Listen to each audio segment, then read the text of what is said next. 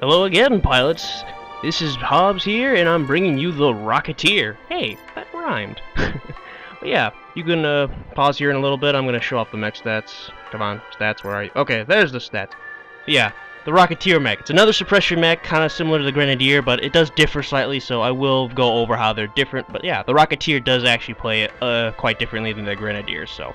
Uh, if you've watched my Grenadier video, keep in the mind the suppression stuff I talked about, but as far as how the weapons work, they do work very differently. But yeah, anyways, let's get to it. Okay, so your first questions are probably what are the main differences between the Rocketeer and the Grenadier? Well, the difference between the Rocketeer and the Grenadier is that the Rocketeer uses rockets. You don't say, Hobbes. I do say so.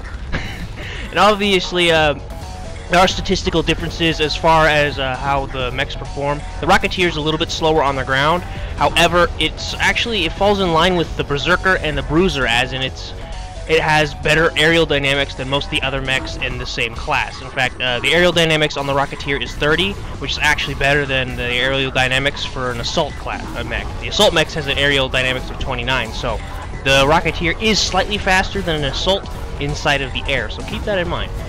Also, another major difference between the Rocketeer and the Grenadier is that the Grenadier is a little bit better at suppressing uh, targets who tend to stay on the ground the most. And because of the nature of the grenades and how they work, uh, they work better against targets who stay on the ground. The Rocketeer, however, actually works a little bit better against targets who like to be in the air and inside of uh, really open spaces rather than closed spaces. So, because uh, you can tell, like on this map, uh, you can see Bunker, uh, this is a great map for the Rocketeer because, like I said, it's really good at covering open spaces and, uh, you know, places that don't have too much cover. It'll really make people duck behind, have to duck behind hills and really stop their movement. So, now the weapons that come standard with the Rocketeer are called the Seeker as the primary weapon, and the secondary weapon is the Hellfire missiles. And of course, you, you recognize the Hellfire missiles from my Bruiser video if you ever watched that. And uh, yeah, any tips I gave you on the Hellfire missiles and uh, that was in my Bruiser video. If you haven't seen my Bruiser video, go check it out so I don't have to repeat myself with the Hellfire missiles. But as far as like Hellfire arcing and all that, works exactly the same on uh, the uh, Rocketeer. You know, just it, they're they're suppression tool more so than a real than a like a killing force.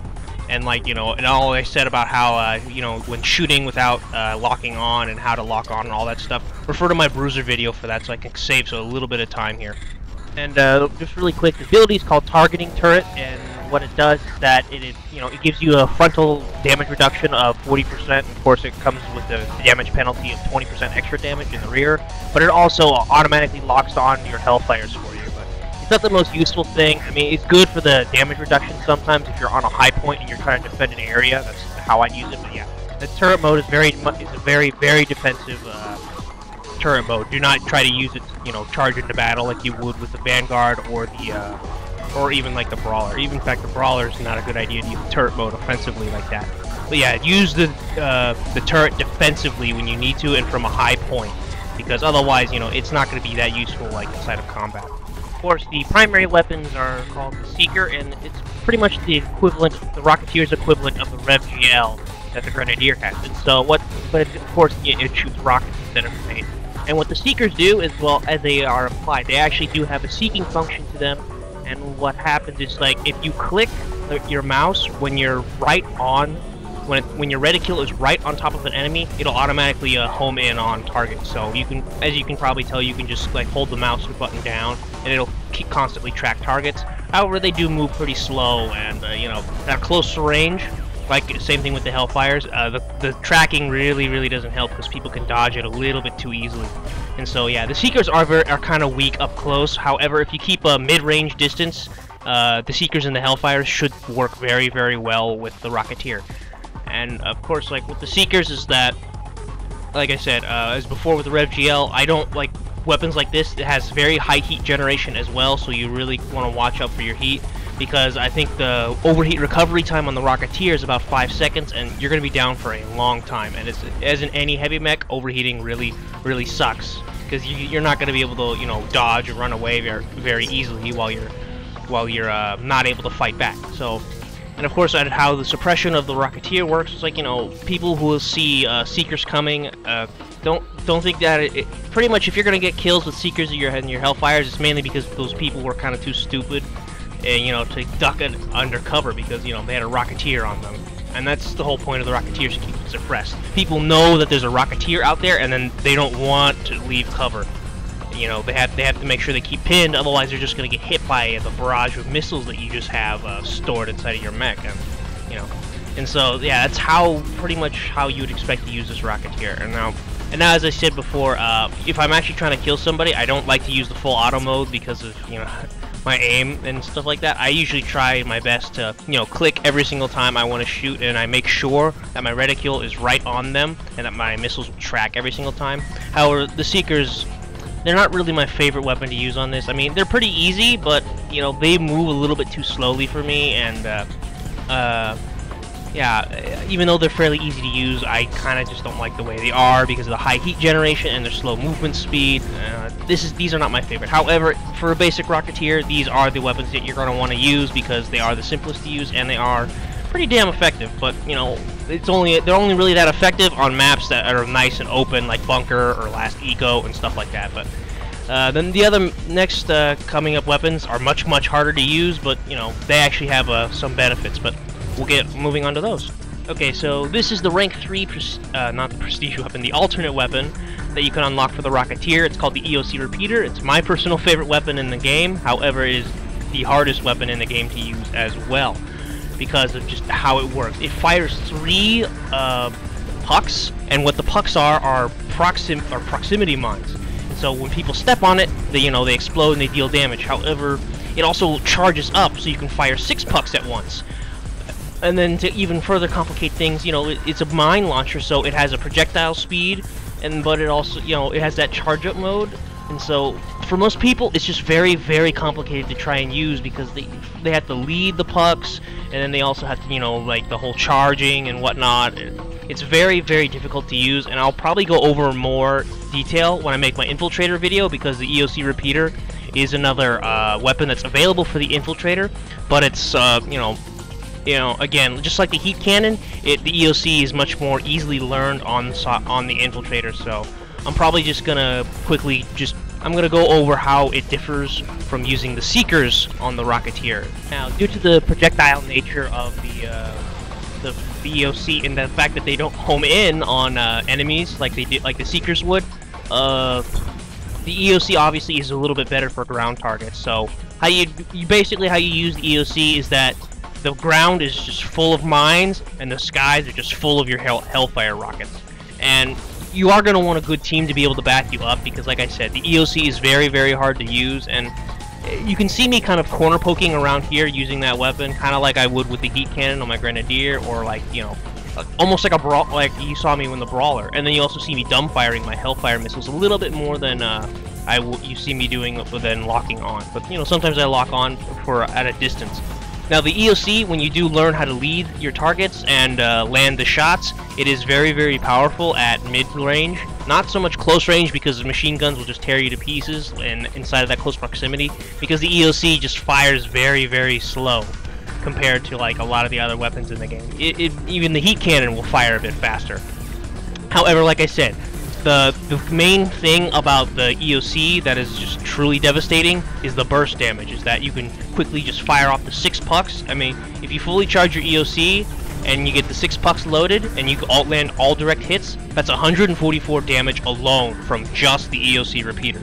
And so yeah, you can see where this weapon would just get terrifying to use.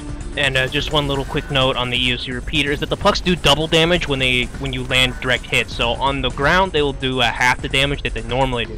But that's still quite a bit of damage. I mean, a puck that lands a direct hit, it's 24 damage, and so uh, each puck will deal about 12 damage. As, you know, if they're just as a mine standing on the ground. You know, you, you can still use the EOC repeater as a mine launcher and like for area of denial. If you know somebody's going to come through and you want to say like, nope, you can't walk here you know, you just fill the place with mines, and then, you know, unless your enemy's stupid and they don't see the giant glowing balls of death, you know, they're probably not going to walk that way. But like I said, if you're trying to go for killing power, that's where you really got to learn how to land direct hits, even inside of the air. Uh, you know, it, it, takes a long time to learn how to land EOC hits against aerial targets. However, it is a skill that you're going to want to use. But, you know, like I said, once you learn the EOC repeater, you can just be really damn deadly. And there's not a lot of other people who use this weapon as well, so you're not going to have to, uh, it, fortunately, you don't have to counter this weapon a lot. However, trying to counter it uh, against a good pilot, a pilot who actually knows what they're doing, can be very, very frustrating because, uh, you know, it's just you you just don't see it very often.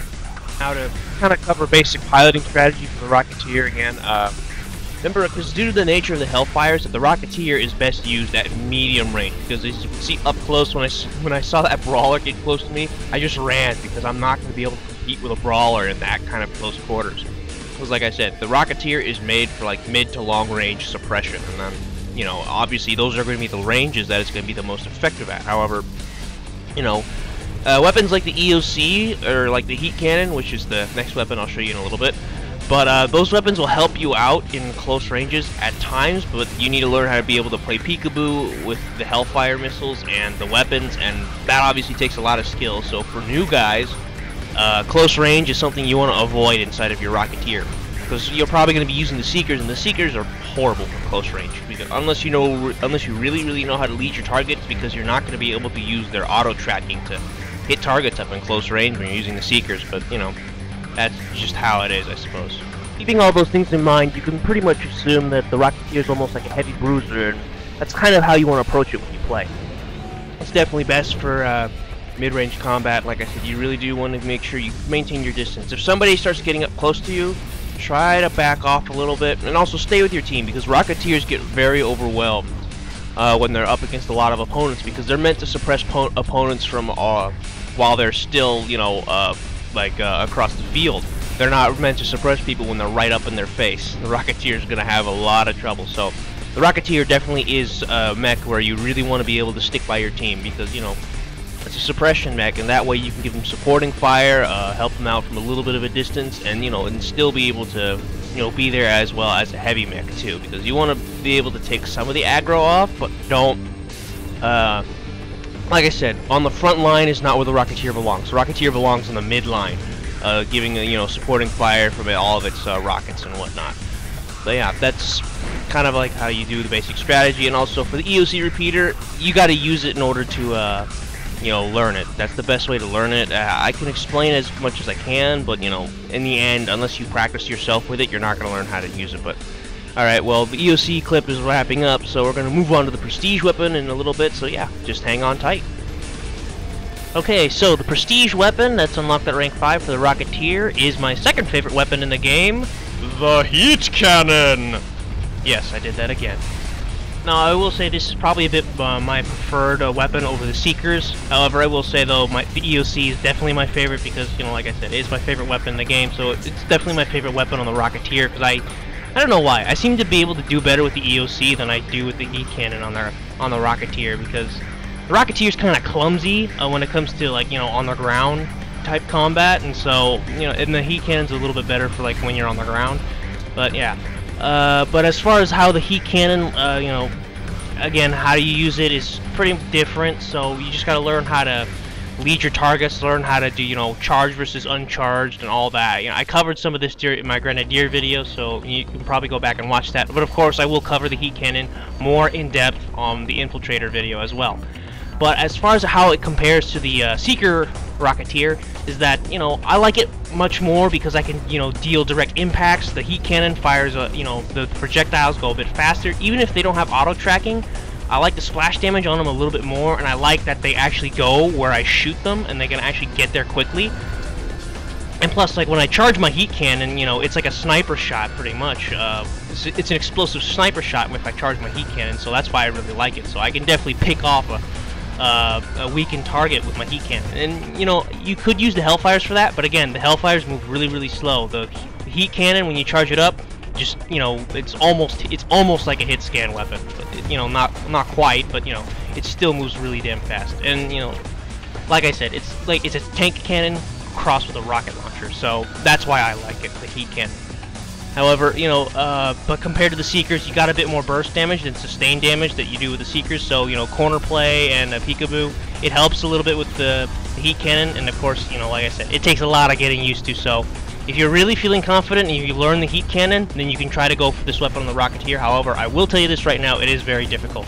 But again, most people aren't going to be able to counter this because, you know, people aren't used to seeing people with the heat cannon. Now, of course, the other main differences between the uh, heat cannon and uh, versus like the Seeker and the EOC is that the Seeker and the EOC do have a lot more suppressive power to them versus killing power. And they, like I said, the same thing with the Grenadier. The heat cannon does have a bit more killing power to it. However, on the Rocketeer, it's a little bit awkward because you know, heat cannon, its best I'd say is for close to mid-range. However, the Hellfire rockets are like for mid to long range, and so it's kind of like having the Point D Vulcan on the Bruiser. It's a really awkward combination, and unless you know how to make it work right, it's just gonna feel a little weird. I, like I said, I even I learned the heat cannon a little bit better than the, I did the EOC, and however, on the Rocketeer, it, it still just feels a little funky to me as far as the heat cannon goes. But like I said, uh, if you like the heat cannon, then you can go try it on the Rocketeer. I definitely do like it because it does give me a bit more viability in combat when I get up close. You know, in case somebody's trying to close in on me, I can you know fend them off with my heat cannon and deal some serious damage to them, and also still have some suppressive power with it you know, and get in and uh, land a few uh, sniper shots with the, the, charged heat cannon. That's what I like it for. But yeah, and uh, I'm probably just, yeah, th that's it for all the weapons. I'm probably going to go over a little bit more of the basic strategy of the Rocketeer.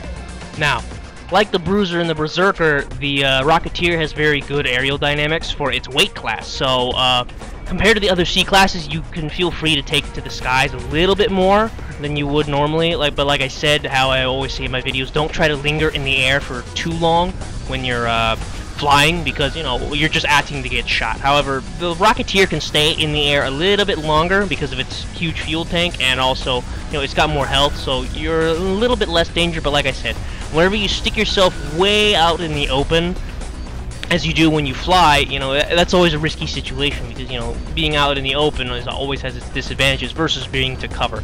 Just And just remember not to get reckless inside of the Rocketeer and just, you know, fly around everywhere, try to fly around people's heads. I mean, yes, you have good aerial dynamics, but of course your aerial dynamics are not going to be like a Berserker, so you're not going to really be able to jump over people's heads and, you know, uh, you know, buzz around them. Unless maybe it's another C-Class, then maybe you can pull it off if you really know what you're doing, but if you're watching this tutorial video, I'm guessing you're a new to the whole Rocketeer business, so you're probably not going to be able to do that.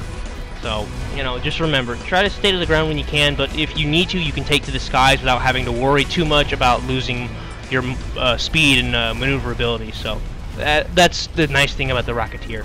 And of course, as always, to wrap things up, I'm just going to go over my items and internals really quickly. Uh, as far as items, still the shield, still the repair charge, and of course I told you guys in my last video with the Grenadier that I'm also going to be adding the detonator, just in case, you know, for some situations where I need to, you know, increase my damage output just by a little bit, just so I can, you know, survive. But yeah, those are pretty much the items, because like I said, uh, dueling with the shield, and I will actually uh, release a video eventually of showing you how to duel with shields, and I'll actually get a, a friend of mine to help me out with that. But yeah, and then the repair charges, obviously, I mean, you know, it's a quick health kit on the go, so it's never a bad decision. And then, of course, my internal setup will be is uh, the basic deflectors, you know, dodging and boosting forward. I get 10% uh, extra damage resistance when I'm doing any of those things, which you should be boosting and dodging with, uh, when you can and uh, as also the evasive device, which really helps because sometimes you know you get that speed boost when your health is low, and so you know it can really help you know me to get away, or you know if I'm in the middle of a fight, I can you know I get a little bit of a speed boost, and it does help with uh, uh, corner play because you're, if you have a faster speed boost, you can actually dodge further than you normally would. And of course, the air compressor, because like I said, the Rocketeer has good aerial dynamics on it, so you know, air compressor is something you can put on there because you see me use it quite a lot. You see me doing air dodges, but yeah. That was the Rocketeer. Uh, that's pretty much the end of this tutorial. Again, you know, like, comment, subscribe if you guys liked it. I really hope this helped you learn the Rocketeer. The next video I'm probably going to do is the G2 Assault, so I can get that out of the way. But yeah, this is Soldier Hobbes signing off.